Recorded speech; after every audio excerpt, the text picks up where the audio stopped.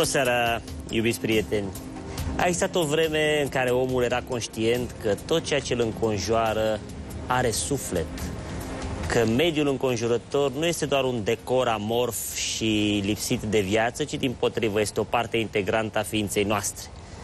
În antichitate despre om se spunea că este un microcosmos cuprins într-un macrocosmos. Nici o diferență între cele două. Dar apoi a urmat o vreme a întunericului și a ignoranței pe care hindușii au numit-o Kali Yuga, o epocă în care omul s-a depărtat aproape, aproape definitiv de planul superior din care provine. Noi, din fericire, ca popor, avem niște rădăcini foarte puternice și teribil de pline de sevă și de viață, care ne alimentează din uh, patrimoniul strămoșilor noștri cu o cunoaștere specială asupra plantelor, asupra naturii în general, asupra tuturor ființelor care locuiesc și trăiesc alături de noi. Îmi face o mare plăcere în această seară să am un tânăr invitat care, în ciuda vârstei sale, poate pentru unii fragedă, dar aici dumneavoastră știți că în spiritualitate vârsta nu ține de ani, ci doar de credință și de determinarea de a cunoaște sau nu. Tânărul Ciprian, cum spuneam, în, în ciuda aspectului său uh, copilăresc, are o cunoaștere profundă uh, în ceea ce privește dublarea asta a planului viu din nevăzut. Vom vorbi în această seară cu el despre spiritele vii ale plantelor, despre relația asta extraordinară energetică între astre și chiar uh, uh, oameni, plante și alte ființe. Dragul meu Ciprian, mulțumesc că, uh, că ai bătut atâta drum, vii tocmai de la Timișoara pentru a ne întâlni. Am uh, avut o întâlnire foarte plăcută când am ajuns la Esoteric Festul de la Timișoara. Mi-a plăcut foarte mult uh, arealul preocupărilor tale și uh, discreția și chiar smerenia cu care ți acoperi cunoașterea la care ai ajuns și să te rog uh, să împărtășești o parte din experiența ta personală, poate să ne povestești și din călătoriile tale în interiorul cunoașterii uh, acestea superbe pe care noi avem din neamul nostru ca moștenire, dar și în alte locuri prin lume unde ai fost și ai învățat lucruri minunate și frumoase despre plante. În primul rând vreau să vă mulțumesc pentru invitația și ca să încep mai pe înțelesul tuturor, voi uh, descrie cum am început această activitate. Când eram mic, uh, mergeam la o mănăstire, la o mătușă de mea, unde îmi petreceam vacanțele de vară. Maica bătrână uh, se ocupa cu remedii făcute din plante, astfel încât am ajuns să culeg aceste plante cum făcea și ea. Veneau turiști străini să ia remedii de la ea, pentru că oamenii, într-adevăr, se simțeau bine.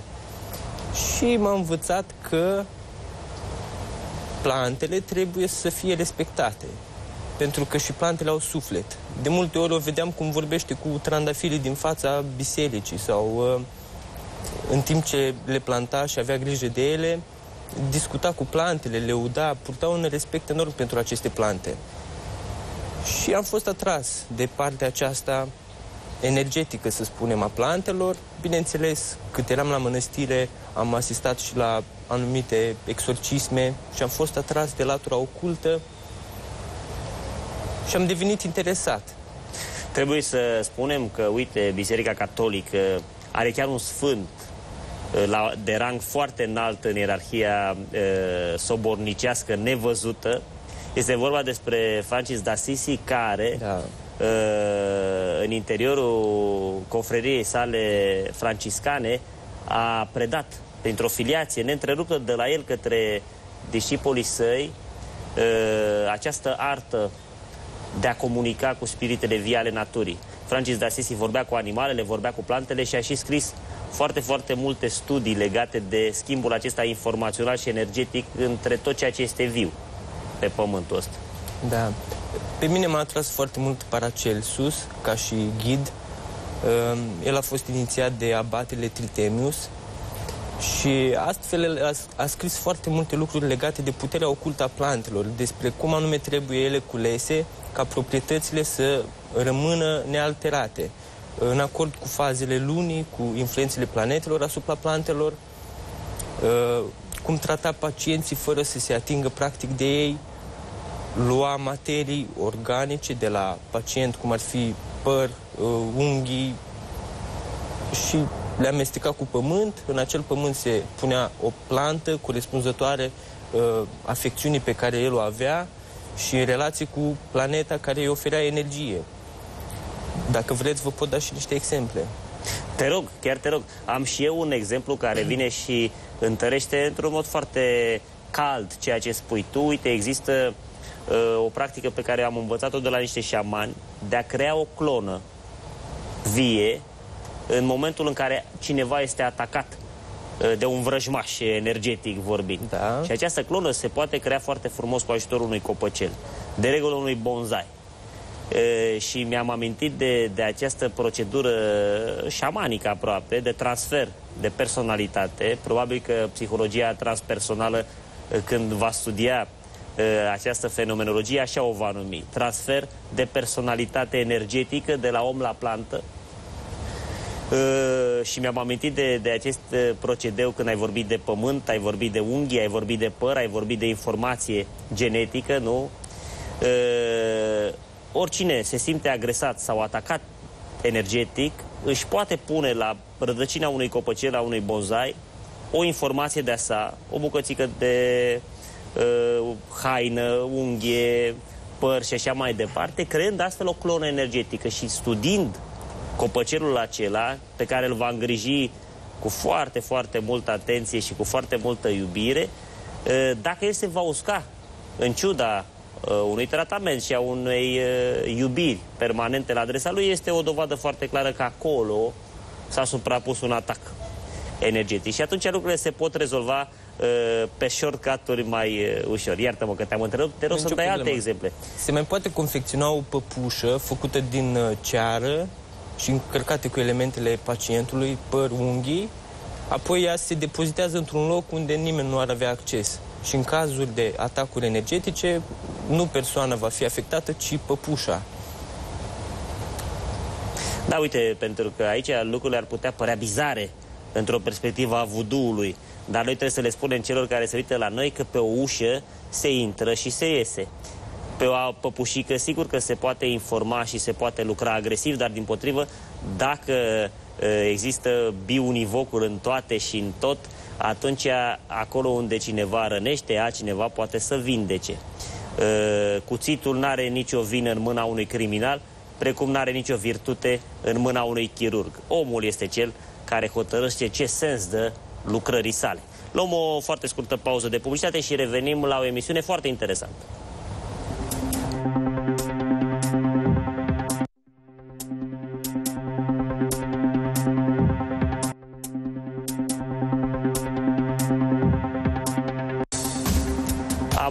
Uh, revenit uh, și constatam că ai multe elemente interesante. Ai copilărit într-o mănăstire, dar ești deschis și către o parte mai ocultă, o parte mai neștiută, o parte pe care noi o moștenim prin tradiție de la moșii și babele noastre. Da.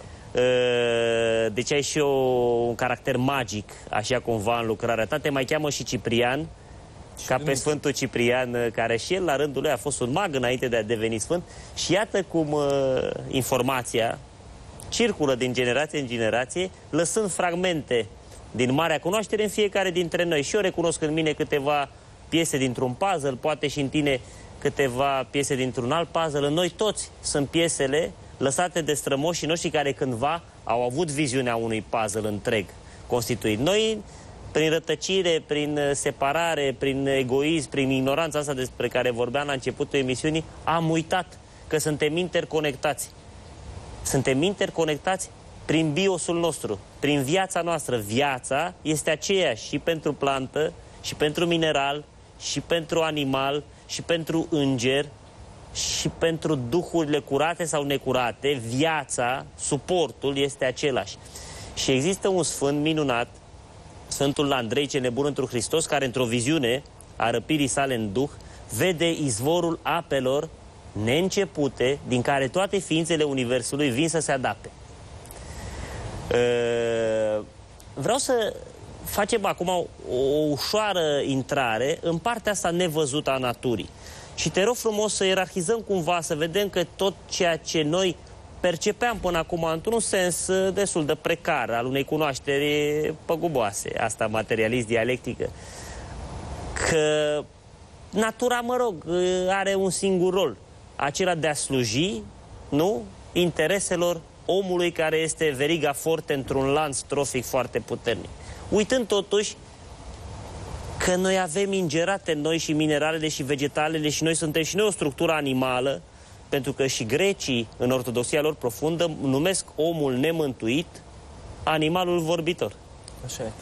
Noi oamenii am pierdut contactul cu natura, ne-am uh, atașat foarte mult de ceea ce percepem cu simțurile noastre fizice. Din păcate, ceea ce noi folosim în mod actual pentru a ne trata, uh, au, plantele care noi le luăm au fost crescute pe o plantație, nu au fost culese din mediul lor natural, unde planta își poate găsi energetic tot ce, ce are nevoie. Se țin cont de mai multe aspecte când se ia o plantă pentru a face un remediu din, uh, din ea. Și anume, dacă vrem să facem un tratament de purificare a sângelui din uh, rădăcină de brusture, trebuie să fim atenți că atunci când luna este în descreștere, să o să recoltăm acea rădăcină pentru că se va coboară când luna este în descreștere. Sau uh, legat de fazele lunii, organismul se detoxifică foarte bine când luna este în descreștere, asimilează informații și se poate reface când luna crește. De asemenea, în trecut, uh, tuberculoza, de exemplu, se putea trata foarte ușor cu un ou fiert în urina pacientului. Urina se spunea că conține mumia uh, persoanei încărcat energetic și oul fierbea în urină până când se evapora, se făceau niște găuri în ou cu un cui de fier Apoi acel ou trebuia pus într-un mușuroi de furnici. Furnicile devorau acel ou și pacientul se vindeca. Ceea ce poate părea foarte bizar pentru niște europeni emancipați astăzi, da. nu e nimic altceva decât, uite, medicină tradițională chineză. Medicina tradițională, noi o numim medicină tradițională chineză pentru că ei sunt singurii care și-au păstrat-o nealterată timp de 8000 de ani aproape, dacă nu chiar și mai mult. Noi am avut și avem în continuare o medicină tradițională românească. Pentru că vracii, babele noastre, exact. moșii noștri și astăzi, dacă nu ar fi murit chiar toți, au păstrat această taină a comunicării cu spiritele vii ale naturii. Ei știu să prepare într-un anume fel o poțiune, știu când să culeagă plantele, știu ce să le spună plantelor și ce să asculte de la ele și așa mai departe. Asta nu e un peisaj obscurantist. Asta nu ține de uh, superstiție sau de sălbăticia unui popor, ci din potrivă. Asta demonstrează încă o dată tradiție, vechime, înțelepciune și adevărată cunoaștere. Pentru că dacă noi nu cunoaștem ce e viu, înseamnă că noi nu cunoaștem nimic. Noi suntem o structură vie și pentru a înțelege că și sufletul, care este viu nemuritor, noi suntem vii muritori în corp, în suflet suntem vii nemuritori. Dar dacă noi înțelegem structura viului, atunci putem înțelege și nemurirea. Poate părea ciudat ce spun, dar e simplu. Da, este adevărat. Uh, noi oamenii nu, nu posedăm doar acest corp fizic. Există și alte corpuri mai subtile pe care noi nu le putem percepe cu ochii fizici. La fel și plantele și animalele posedă astfel de corpuri. Ce fă, ceea ce făcea Paracelsus era că comunica cu cauza astrală a bolilor, nu... Cu dublul eteric. Cu dublul eteric, exact. Pentru că înainte ca o afecțiune să se manifeste în corpul fizic, apare în regiunile astrale. Și dacă se lucra pe cauză, pacientul era vindecat fără alte... Ai pomenit de Paracelsus și trebuie să-i facem un omagiu. Eu da. chiar în cinstea lui am înființat uh, grupul Paracelsus. Paracelsus exact. Este un spirit absolut uh, fundamental în uh, emanciparea medicală europeană Sigur că el a fost inițiat în Orient de către șamanii mongoli, de către șamanii buriați, a trecut și a cunoscut foarte bine procedeele terapeutice ale Chinei și a reușit să integralizeze într-un mod absolut admirabil cunoașterea vestică europeană, cunoașterea occidentală, care e mai raționalistă, mai rigidă în a categorisi lucrurile și evenimentele, dar le-a dat această viziune integralistă, această viziune holistică a Orientului. Și fără Paracelsus, medicina alopată, așa cum o cunoaștem noi în Occident, n-ar fi putut exista. Exact. Uh, El este părintele medicinii moderne. Exact. El a spus că orice carte care există nu ne este de niciun folos. Uh, medicul adevărat uh, trebuie să studieze medicina în natură, în practică, natura scrisă de degetul lui Dumnezeu. Acolo poți găsi toate informațiile de care ai nevoie. El, de asemenea, era văzut și printre cercetori, oameni bătrâni care știau anumite practici vrăjitoare, tot felul de oameni care puteau să-i ofere informații referitoare la astfel de uh, terapii. Folosea uh, ca și remedii pentru reumatism, uh, lua o salvie. Salvie este o plantă guvernată de soare, la fel cum e și rozmarinul și uh, Sunt multe plante guvernate. Majoritatea plantelor sunt, sunt guvernate de soare, sunt cu excepția celor care sunt guvernate de lună. Da. Și se luau asemenea materii de la pacient, în special excrement, care trebuia uscat, amestecat cu pământ și soarele timp, în 24 de ore. Fiecare astru își manifestă influența energetică timp de 3 ore. Când soarele guverna și avea uh, puterea lui energetică, atunci trebuia plantată salvia în acel material. Și pacientul se vindeca pentru că salvia putea să absorbă mumia uh, bolnavă. Da, uite, cu alte cuvinte, ca să putem înțelege și să înțelegeți și dumneavoastră acasă foarte bine. Există un dublu eteric, există o fantomă care se manifestă chiar și în viu. Este vorba despre învelișul nostru imediat hai să zicem, primul corp auric care se întinde și pe care dacă exersându-ne vederea periferică și sunt multe exerciții în astea, putem să percepem imediat uh, stratul următor corpului fizic. La un centimetru jumate, 2 centimetri în jurul nostru apare așa, ca o aură lăptoasă. Acea aură lăptoasă este dublu eteric sau fantoma, cum se numește oriunde în lumea asta ezoteric ocultă.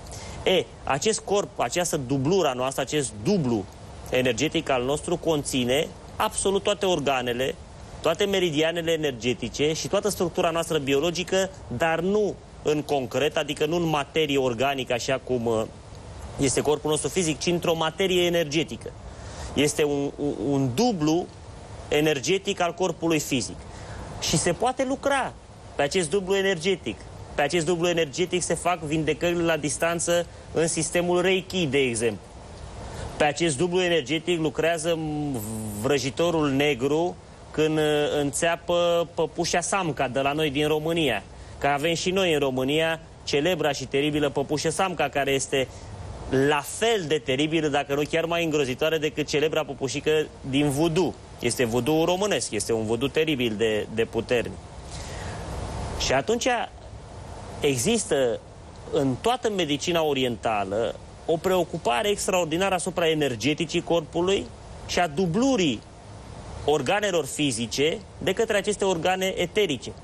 Și atunci se poate lucra asupra efectului, tratând în primul rând cauza energetică, pentru că noi știm astăzi deja cu toții că noi suntem o succesiune de învelișuri energetice, pornind de la sufletul nostru, de la Duhul nostru, de la ființa noastră care este lumină, care intră apoi în elementul foc, care se îmbină apoi cu celelalte stihii ale naturii, cu elementele apă, pământ și aer și care împreună formează structura noastră materială, adică corpul fizic. Dar corpul fizic este de fapt ultima expresie a aglomerării, dacă pot să o numesc așa, celulare. Pentru că și aerul este tot o entitate material energetică, numai că am putea să ne imaginăm că distanța între atomii care formează aerul, e un paradox acum pe care spun, este mai mare decât distanța între atomii care formează celula membranei mele a corpului meu. Și atunci eu prin aer pot să trec liniștit, prin mine însumi nu pot să trec, nici tu nu poți să treci prin mine, nici eu nu pot să trec prin tine, decât dacă am renunțat la învelișul nostru fizic și dublul nostru eteric, fantoma trece. De aceea fantomele pot penetra spații hermetice, pe când structura fizică nu. Dar mintea conduc, conduce, coordonează toate aceste corpuri. Nu e, nu e o filozofie foarte complicată. Așa este. Ehm, bineînțeles, nu trebuie să uităm și alte aspecte, că înainte de a face astfel de lucruri, în lucru cu plantele și cu oamenii, trebuie să fim uh, stăpâni ai propriului nostru corp fizic, să ne putem uh, ține în frâu silfii, salamandrele uh, sângelui. Hai să vorbim un pic și te rog să categorisim un pic, ca să fie ușor de urmărit pentru, pentru, to- pentru toată lumea. Uh, care sunt elementele vii, genile, care guvernează elementele noastre constitutive? Silfii și silfidele, gnomii care guvernează carnea și uh, oasele, uh, de aceea noi trebuie să înfruntăm lenea pentru a putea să le poruncim uh, gnomilor. Uh, ondinele și nereidele, respectiv apa, Toate fluidele corpului nostru. toate fluidele corpului nostru, uh, Salamandrele care Salam- guvernează, salamandrele focului. guvernează sufletul nostru care este uh, îmbrăcat, înveșmântat în elementul foc. guvernează sângele și organele sexuale, de aceea trebuie să avem foarte mare grijă să fim caști ca să putem uh, să poruncim salamandrelor focului. și mintea noastră care este guvernată de aer, de aceea poate noi nu înțelegem de ce mintea noastră poate fi ubicuă, că eu pot să stau acum cu tine de vorbă și mintea mea să fie în corp în timp ce stau de vorbă cu tine, dar eu pot în timp ce stau de vorbă cu tine în mintea mea să fiu și în altă parte. Uite, de exemplu, pot să mă duc pe o plajă și să mă plimb uh, sub un răsărit de soare pe care nu l-am văzut niciodată, dar mi-l pot imagina eu abia acum cum e.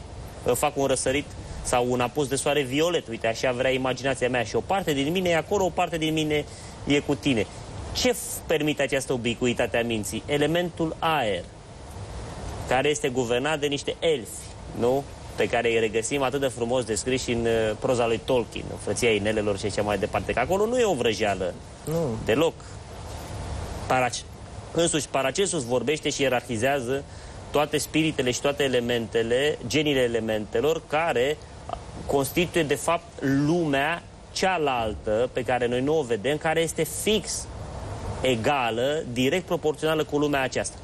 Adică câte animale, câte gâze, câte păsări, câte rase umane sunt pe pământ, atâtea sunt și în planul dublului eteric. Adică exact atâtea sunt și în imediat universul următor, care este lipit de-al nostru, dar nu se vede. Da, este adevărat. Uh, referitor la ceea ce mi-a spus dumneavoastră, vreau să vă arăt, uh, să Te rog, te rog. am pregătit un material special pentru emisiune. Ne vom adresa elementalilor atomice ai propriului corp fizic, la fel cum și uh, plantele au elementalii sau sufletele lor, la fel și corpul nostru are elementali, mai mulți elementali. Salamandrele atomice ale sângelui și ale sexului ard în mod înspăimântător cu pasiunile noastre animalice. Noi trebuie să le putem uh, ordona, trebuie să ne putem ține în frâu aceste pasiuni pentru a dobândi virtuți. Silfii atomici ai propriului nostru aer vital, în serviciul imaginației mecanice subiective, trebuie transformat în imaginație obiectivă, conștientă. Uh, Silfii se joacă cu gândurile lascive și de aceea noi trebuie să avem foarte mare atenție uh, privind atitudinea pe care o avem în relație cu semenii noștri. noștri. Gnomii atomici ai cărnii și ai oaselor uh, sunt în relație cu sistemul osos și de asemenea corespund cu lenea. Noi trebuie să învingem lenea pentru a putea ordona gnomilor atomice ai propriului corp fizic. Trebuie să știm să le poruncim asto, uh, elementelor pentru a putea obține vindecare în corpul fizic. Uh, ei știu ce mai bine pentru corpul nostru. De asemenea, noi avem o inteligență inerentă, un uh, tămăduitor intern pe care, uh, prin care noi am pierdut contactul cu el, dar el știe cel mai bine ce este sănătos pentru noi. Uh, Da, este, e normal să fie așa, pentru că pe vremuri, de exemplu, când industria farmaceutică uh, nu exista încă, remediul universal valabil era odihna. Ceea ce înseamnă că în momentul în care mintea ta se duce un pic la culcare, corpul găsește în el tot ceea ce are nevoie pentru a se autovindeca. Noi trebuie să spunem un lucru acum care probabil va supăra pe foarte mulți din industria farmaceutică. Nu există nici medicamente care vindecă, nici plante care vindecă, ci doar pretexte date organismului nostru pentru a-și aminti, a-și reaminti ceea ce el are nevoie pentru a se autovindeca. Plantele nu ele sunt curative, ci informația lor, mufată, conexată la o informație neuronală pe care noi o avem dacă suntem făcuți după chipul și asemănarea Elohimilor. Iar Elohim din ebraică se tălmăcește cele șapte spirite vii ale naturii universale. Asta înseamnă că noi avem decodificatori de informație în ADN-ul nostru capabil să citească și să opereze, să interacționeze cu toate elementele naturale din univers, nu numai de pe planeta Pământ. Adică noi, pe spirele alea nesfârșite ale ADN-ului nostru, noi avem serii matematice nesfârșite, coduri numerice, dacă vrei, infinite, care nu fac altceva decât să decodifice și să ne pună în raport cu tot ceea ce schimbăm noi energetic cu natura, din moment ce noi suntem făcuți după chipul și asemănarea naturii. Și atunci plantele pe care noi le luăm când suntem într-o stare precară nu fac altceva decât să informeze neuronal corpul, să-i reamintească ce are nevoie pentru el a declanșa substanțele necesare din corp pentru a se reface structura matricială a corpului. Industria farmaceutică, de ce spuneam că se va simți lezată? Comite un abuz. Pentru că noi ingerăm prin uh, medicamente substanțe chimice care nu sunt decodificate de computerul nostru natural. Tot ceea ce este natural se decodifică, firesc, pentru că ăsta e softul nostru. Tot ceea ce nu este natural nu poate fi decodificat. De aceea, la medicamente există efecte secundare. Orice medicament prelucrat chimic va cumpăra cineva de pe piață, dacă îi va citi prospectul, va vedea că există un capitol numit acolo efecte secundare. Tot ceea ce este natural, luat în dozajul respectiv, adică ținându-se cont și de cunoașterea asta pe care șamanii noștri o aveau, pe care Paracelsus a redat-o Europei când o pierduse și o uitase, nu fac ce altceva decât să ajute corpul, toate aceste remedii nu fac altceva decât să ajute corpul să se vindece singur și atunci nu mai există efecte secundare pentru că organismul nostru își va lua fix cantitatea de energie de care are nevoie pentru a se vindeca, nu va consuma nici mai mult, nici mai puțin. Da, chimia, din păcate, se trage din alchimie. Chimia îl operează cu materie moartă, în schimb ce alchimia operează cu viața. De aceea, plantele este bine să le folosești atunci când le-ai luat, să extragi principiile vitale din plante, din uh, regnul animal, că și pe, uh, cu animalele se pot obține vindecări. Din carne de vițel, care se știe că poate absorbi foarte mult mumia pacientului, se așează pe o parte bolnavă, apoi carnea respectivă se dă unei pisici să o consume. Pisica se știe că poate transforma astfel de energii negative și astfel pacientul se vindecă fără să pui mâna pe el, relativ. Noi, ca și oameni, îl avem pe Dumnezeu în interiorul nostru. Prezența lui Dumnezeu în noi trebuie să o conștientizăm, deoarece doar El este Cel care ne ajută să obținem o vindecare de nu noi ca și oameni, ci puterea Lui divină prin mâinile noastre poate ajuta un pacient. Un om bolnav care trebuie să se vindece, nu-l va găsi el pe doctor, ci doar dacă divinitatea permite și îi dă circunstanțele necesare în viață să întâlnească acel doctor sau doctorul ajunge la el. Nu ne servește deloc să citim foarte multe cărți pe teme medicale dacă nu cunoaștem natura, nu o percepem, nu ieșim în natură să transformăm vibrațiile care există acolo, să ne conectăm cu un arbore, de exemplu, cu un pin, se pune mâna, uh, mâna dreaptă pe plexul solar și mâna stângă legat de arbore și astfel obținem o încărcare energetică. Sau putem comunica cu astfel de suflete ale plantelor. Înainte de a culege o plantă pentru tratament, trebuie să o binecuvântăm în numele Tatălui, al Fiului, al Spiritului Sfânt, se face un cerc de protecție în jurul plantei, se cere plantei să, elementalului plantei, să depună elementele necesare în planta respectivă pentru a obține vindecarea cu tare.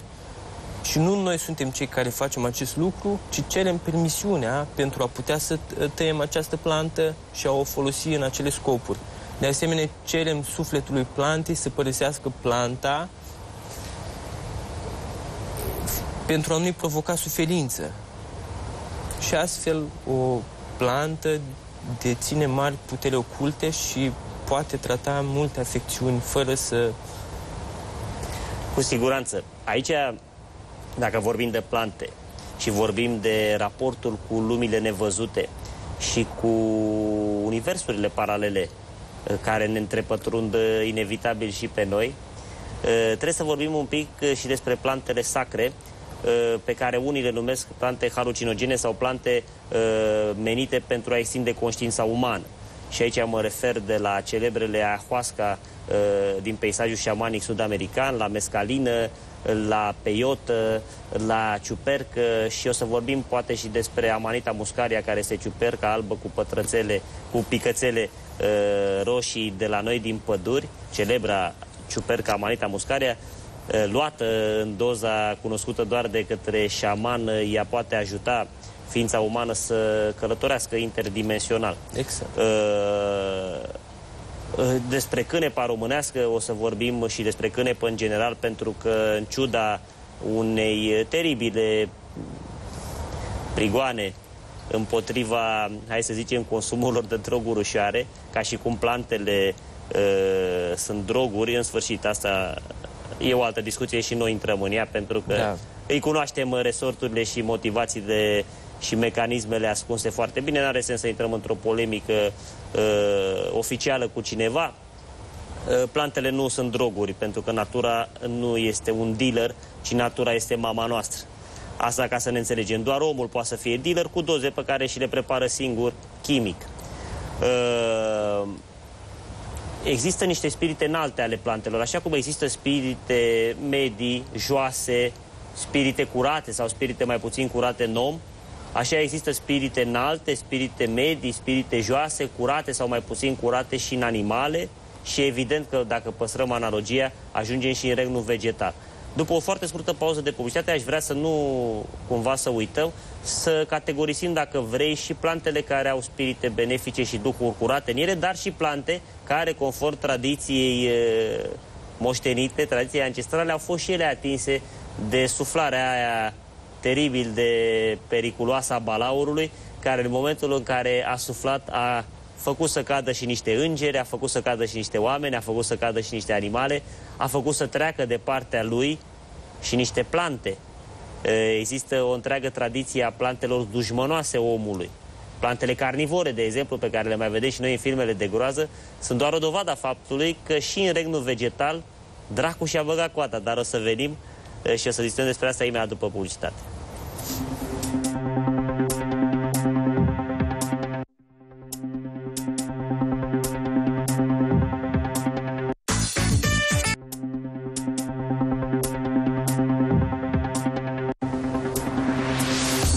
Am uh, revenit, uite, și eu vreau să vă arăt ce cadou minunat am primit de la prietenul meu Ciprian. Am primit uh, salvie rută și artemisă, Uh, sunt niște plante speciale pentru fumigație, mai ales uh, fo folosite în inițieri, pentru purificarea spațiului și pentru curățarea corpurilor energetice.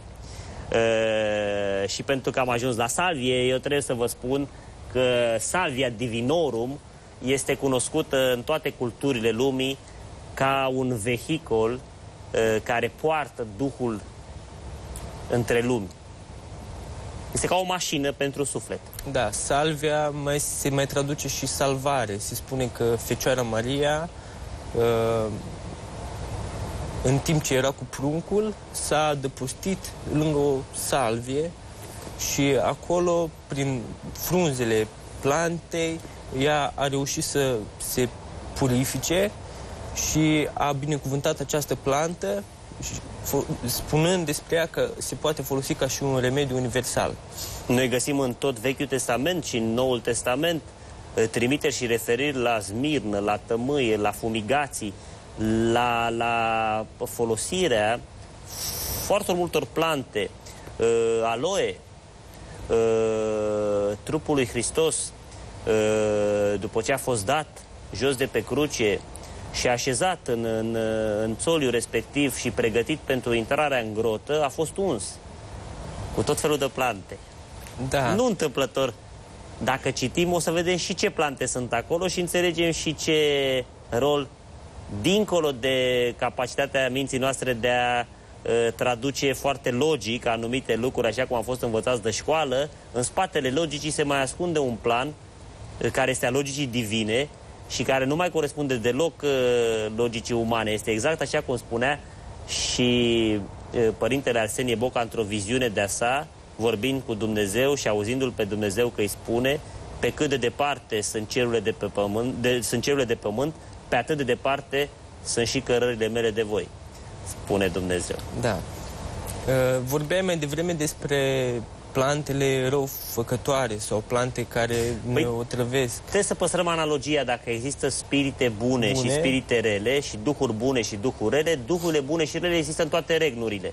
Și în mineral, și în vegetal, și în animal, că și în animal avem animale bune și animale rele. Și în om avem oameni buni și oameni răi. Peste om sunt duhuri, îngerii de lumină și îngerii căzuți sau diavolii și așa mai departe. Nu? Există un raport. Paracelsus era foarte familiarizat cu Hipericum perforatum. Îi plăcea foarte mult această plantă sau sunătoarea tradițională sau pojarniță, se mai spune în unele locuri. Uh, spunea despre această plantă că are mari proprietăți oculte. Uh, frunzele plantei uh, conțin un signum pentru orice fel de entitate tenebroasă și dacă acele frunze se, sunt pisate, ele pot distruge orice sferă entitate tenebroasă din spectrul omului și omul se poate purifica. De asemenea, este una dintre singurele plante cu care se poate trata depresia. Persoanele care au fost cuprinse de influențe energetice negative. Se mai folosea și sulf în trecut pentru purificare. De multe ori vedem cazuri în care se aud zgomote în casă, mobila scârție, Uh, persoanele nu pot să doarmă și de cele mai multe ori ei apelează la preoți pentru a sfinți casa și a face fumigații cu tămâie. În schimb, și entităților negative le place mirosul frumos, cum este tămâia. Și este indicat a se purifica întâi spațiul și persoanele care trăiesc în acea casă cu sulf. Se face o fumigație de sulf timp de 9 zile, după care se pot atrage uh, vibrații mai înalte, din tămâie, uh, salvie, artemisă, rută, uh, laurus nobilis sau dafinul. Nu întâmplător are această denumire.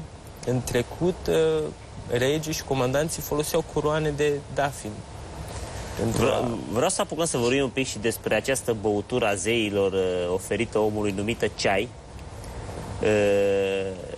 În tradiția orientală se spune că într-un bol cu apă fierbinte a căzut o frunză dintr-un arbore, iar tradiția lor spune că frunza n-a căzut întâmplător, ci că în iubire, din iubire față de om, zeii care erau, uh, zburau în nevăzutul lor pe acolo, au scuturat arborele de ceai, permițând unei frunze să cadă în bolul acela de apă fierbinte și din acel moment începe o relație extraordinar de frumoasă, aproape o iubire între om și plantă.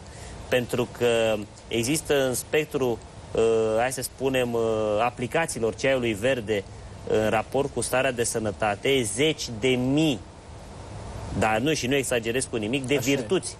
pe care ceaiul verde le are în procesul de vindecare, de menținerea sănătății, de potențare energetică și așa mai departe. Deci iată cum o frunză, doar o frunză dintr-un arbore, a permis chinezului să găsească zeci de mii de virtuți în raport cu starea de sănătate ale naturii. Putem lua ca exemplu și busuiocul nostru. Se spune că în Egipt se punea în apă de seara până a doua zi și se consumă apa respectivă, ca un elixir de tinerețe, un tonic general pentru întreg organismul. Se știe că busuiocul are astfel de virtuți. Nu întâmplător se folosește și la slujbele religioase. El e cel care, influența lui astrală, puterea da, stropimă voi cu isop, spune psalmul, care este tot o plantă, foarte asemănătoare cu busuiocul. Uh, ne mai vorbim de, uite, de, de, de virtuțile absolut fabuloase și unice ale unor plante pe care noi aici în România le avem, dar le cam ponegrim în ultima vreme în sensul că nu le mai băgăm în seamă. Ștevie, urzică, păi zeama de urzici este un, poate cel mai uh, puternic depurativ, cel mai puternic înnoitor al sângelui și al fluidelor din corp. Marte guvernează urzica, sângele, conține mult fier. Uh, mai sunt și alte plante cu astfel de virtuți halucinogene, cum ar fi datura arborea sau trompeta îngerilor. Floarea era folosită și pisată, se obținea un lichid, dar înainte de acest procedeu trebuia făcut un pact cu planta respectivă cu sânge. Se făcea o o incizie în plantă. Pot să-ți fac o mărturisire. Știu ce înseamnă să iei datura cu ritual și cu pact și cu mare, mare zmerenie față de spiritul acestei plante, plante. și știu ce înseamnă să iei datura fără niciun fel de respect față de plantă, pur și simplu din încercarea de a experimenta o anumită stare. A aceeași cantitate, a aceeași calitate a plantei, în momentul în care tu îi acorzi respectul cuvenit și înțelegi raporturile care se stabilesc între Duhul tău și Duhul acelei plante e ceva, iar când te lași pur și simplu ești nepăsător și arogant într-un într fel și iei datura fără respectul necesar, ești aproape, și eu pot să spun cu, că am experimentat această sare, ești aproape mort, adică ești ca o umbră în regatul uh, spiritelor rătăcitoare pe acolo. Da. Foarte rea senzație, cea mai rea trăită da, vreodată. Păi, ea fiind halucinogenă, lichidul obținut era uh, aplicat pe zona cervicală, printr-un masaj ușor.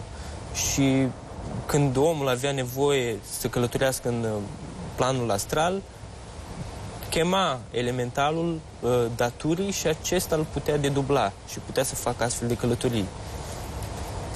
Același procedeu se întâmplă cu funia mortului sau cu ayahuasca, pe care șamanii sud-americani au păstrat-o ca tradiție nealterată.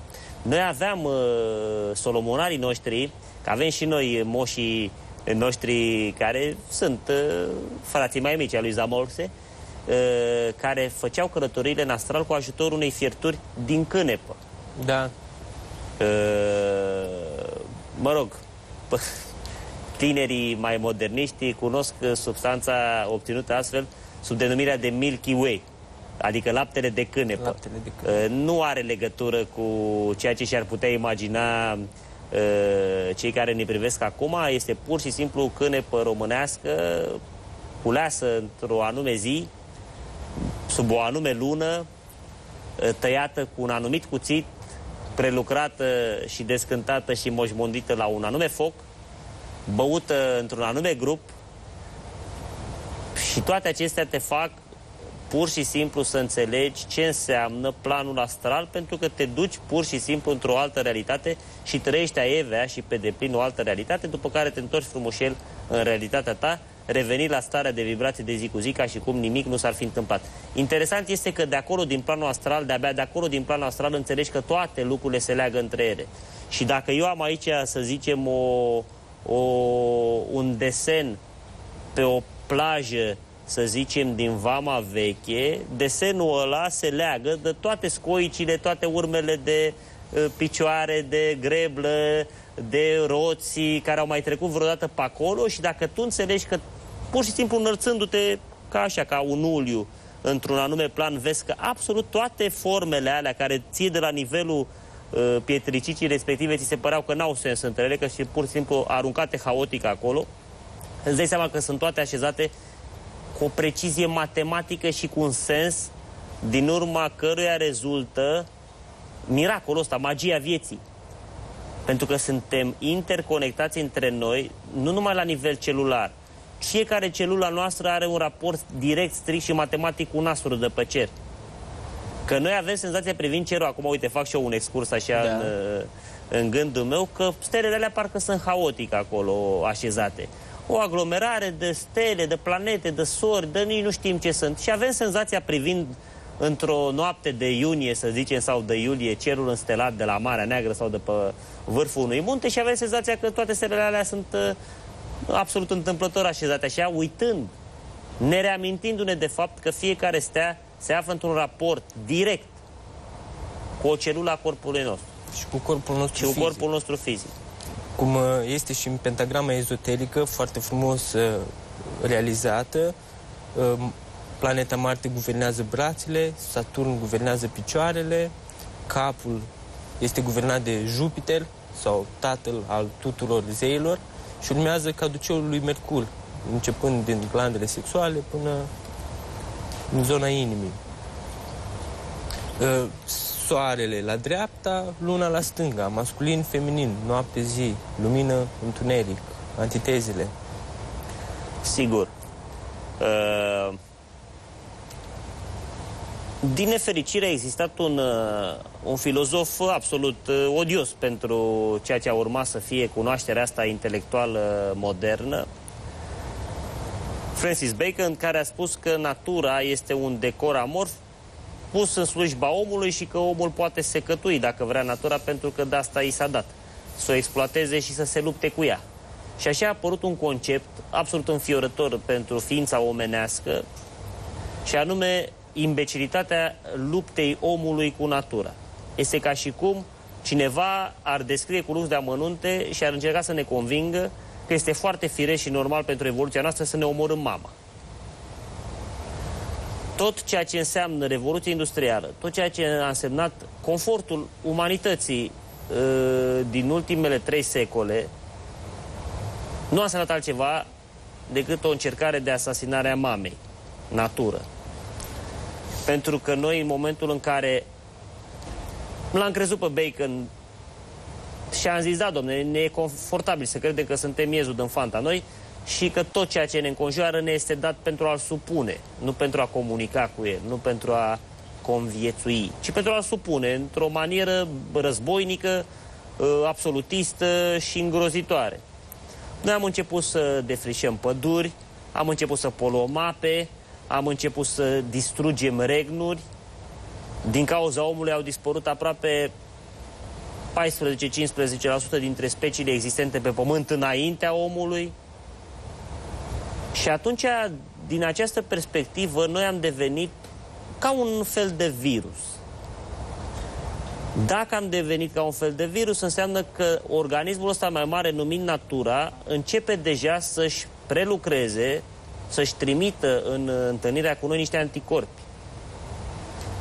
Te-ai gândit vreodată că este foarte posibil ca speciile alea care au dispărut de pe fața Pământului definitiv, cum au fost dinozaurii, de exemplu, să fi dispărut și din cauza faptului că au devenit abuzivi și au început să strice echilibru planetar? Pentru că acum și dinozaurii, când au început să mănânce tot, au mâncat tot ce însemna natură. Chiar aia erbivorii, că noi spunem, domne, ăla cu gâtul lung, Eh, era blând, blând, nu mânca alte animale. Nu, dar a mâncat și a ras toate plantele și a mâncat toate frunzele din copac până când a stricat echilibru ecosistemic. Stricându-se echilibru ecosistemic, s-a stricat mecanismul. Și ceasornicul meu, dacă nu-i merge o rotiță, el nu mai merge ceasornicul. Și așa e și cu universul. Dacă o rotiță din univers se strică, se strică mecanismul universal. Și atunci ceasornicarul, care este Dumnezeu în cazul nostru, nu admite un prejudiciu global. Și atunci spune, bă, de ce nu merge cu tare? Pentru că în Sodoma și Gomora sunt niște indivizi care nu fac cinste spiritului nostru. Bine, să nu mai fie. Și atunci vine distrugătorul și distruge Sodoma și Gomora. Iisus Hristos trece pe lângă un smochin. Smochinul respectiv nu producea nimic, era un copac gol, doar crengi. Îl usucă pentru că n-are cum să se numească smochin ceea ce nu produce smochin. Tu cum vezi ieșirea? Că te întreb acum că ești un iubitor de natură și ai experimentat entitatea asta vie și atât de inteligentă numită natură și știi că acționează mult mai inteligent și mult mai puternic decât omul. Cum vom ieși din acest război nedrept pe care tot noi din prostia lui Bacon și a noastră l-am declașat naturii? din punctul meu de vedere, orice în natură are evoluție și involuție. Pământul nostru se spune că va suporta șapte rase. Noi suntem a cincea rasă, rasa ariană, și ne aflăm în vârsta neagră sau Kali Yuga. Fiecare vârstă, fiecare rasă trece prin cele patru vârste, de aur, de argint, de bronz și vârsta neagră, de fier, de fier în care noi ne aflăm acum. Ne aflăm în era vărsătorului, pe partea opusă se află uh, leul sau justiția, deci e clar că vom suferi niște modificări în uh, un cataclism. Se spune că noi vom muri de foc și deja sunt uh, date confirmate care, în care mulți vulcani care se credeau inactive au început să erupă și să-și uh, desfășoare activitatea. Hai să adăugăm aici și exploziile solare care se află de ceva timp încoace la niște parametri extraordinar de înalți, de ridicați, pe care activitatea solară n-a mai cunoscut-o până acum. Uh, eclipse inelare, a fost uh, acum recent o eclipsă inelare. Oricine se scoală, nu știu, astăzi, mâine, la 4 dimineața, 5 dimineața și e soare puternic pe cer, adică e soare, răsare da. soarele, oamenii pot constata că intensitatea lui la ora 5 dimineața este echivalentă astăzi, mâine, poi mâine, anul ăsta, în 2012, echivalentă cu o oră de vârf de acum câțiva ani. Adică în iunie 2012 soarele arde la ora 6 dimineața cu intensitatea cu care ardea în 2008, 2007, 2008 la ora 12-13 la prânz. Asta demonstrează ceva. Demonstrează ceea ce NASA avertizează de multă vreme. A crescut enorm de mult activitatea interioară, interna Soarelui. Acum ați observat că sunt mulți oameni și multe grupări care deja au început să se reîntoarcă în sânul naturii, pentru că știu ce vor urma. Și au loc niște selecții. Uh, sunt anumite vibrații în, în, uh, pe pământ care face această triere de oameni.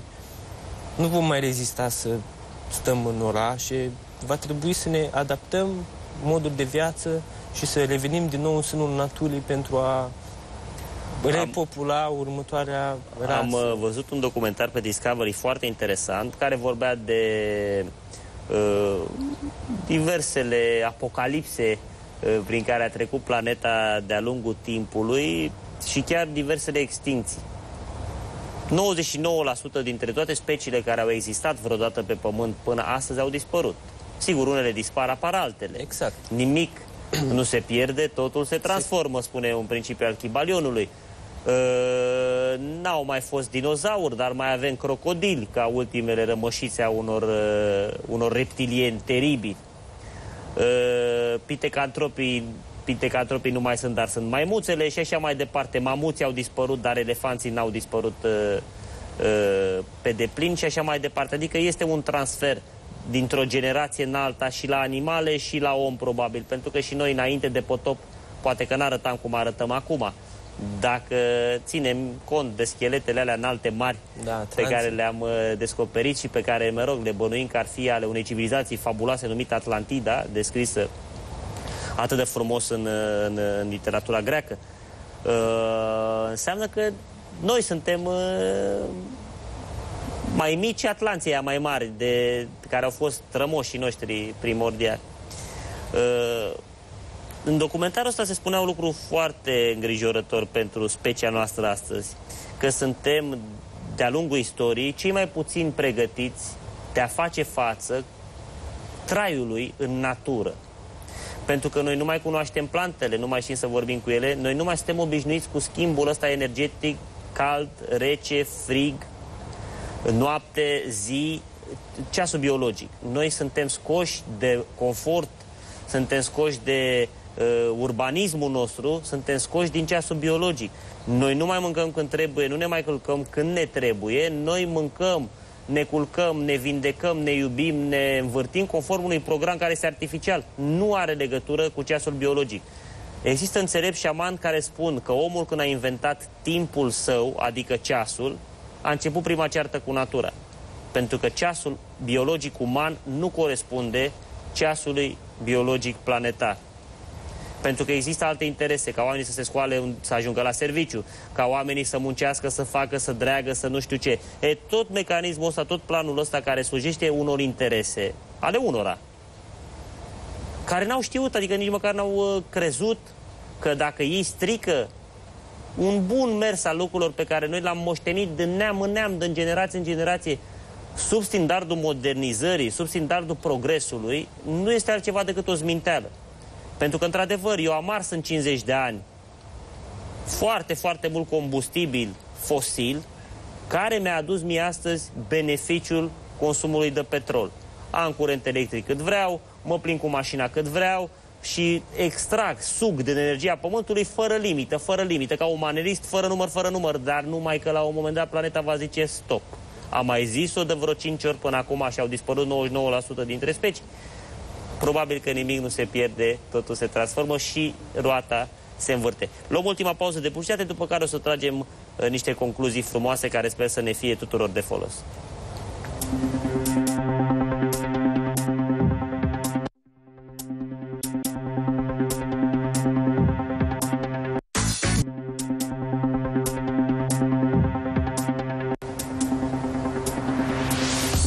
uh, mulțumindu-i lui Ciprian pentru perspectiva acestui dialog și acestei discuții foarte interesante despre ceea ce noi nu vedem de lângă ceea ce vedem.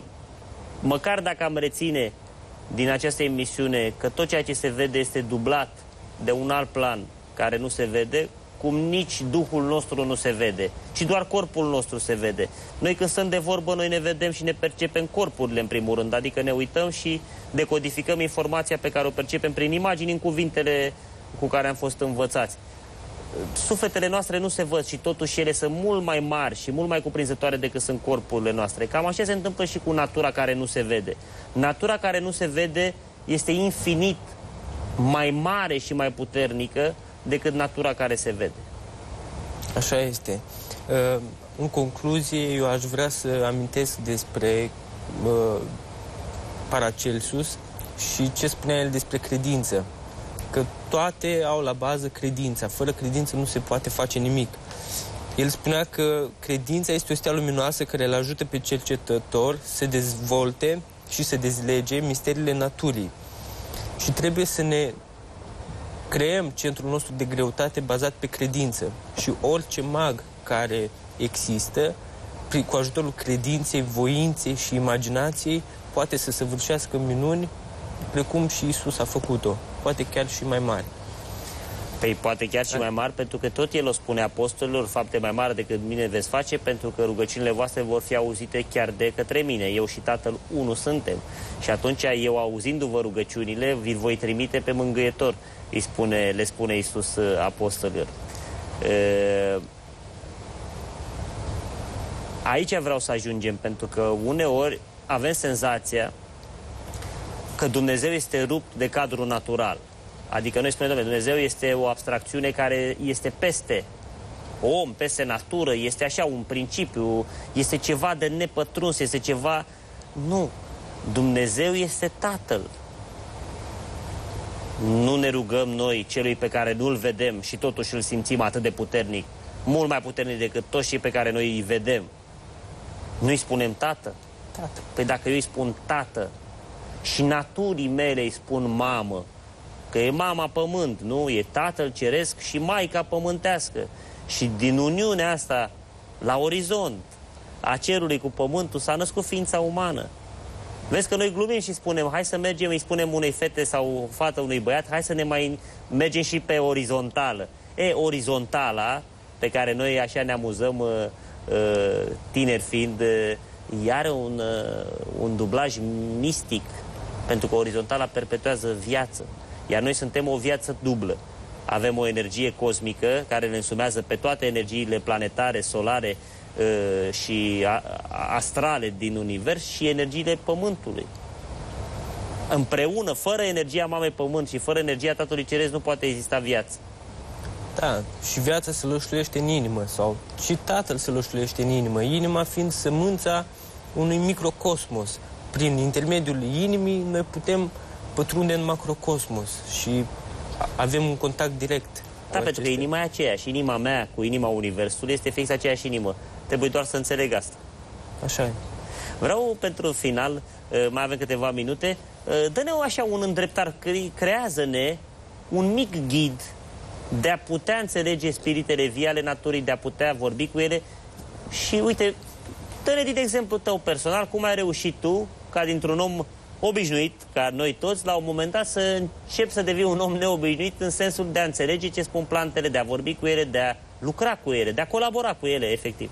Um, din experiență proprie pot să afirm faptul că un om care este bolnav și suferă de anumite suferințe, uh, natura și divinitatea îi va pune în grădina lui, în spatele casei, plantele necesare afecțiunii pe care el o are.